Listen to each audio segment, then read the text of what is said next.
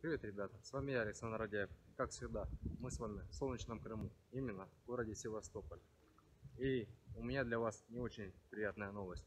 А заключается она в следующем, что мне стала известна новость о том, что с 1 числа, точнее с 10 числа этого месяца в Севастополе вводится полный локдаун. Въезд и выезд будет в город осуществляться только исключительно по QR-кодам. То есть въехать в Севастополь на отдых и выехать из города можно будет только при наличии QR-кода, который заранее можно оформить через специальный портал государственных услуг, предварительно сделать вакцину.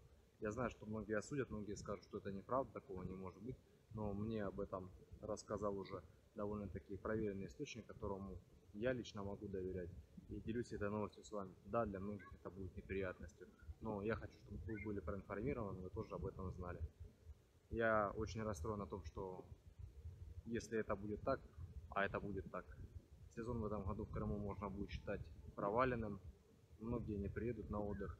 Многие, кто сейчас уже находится здесь, будут вынуждены подкорректировать свой отдых и до 10 числа покинуть именно Севастополь. Из-за такой неприятной новости, из-за событий, которые сейчас происходят в России и по всему миру.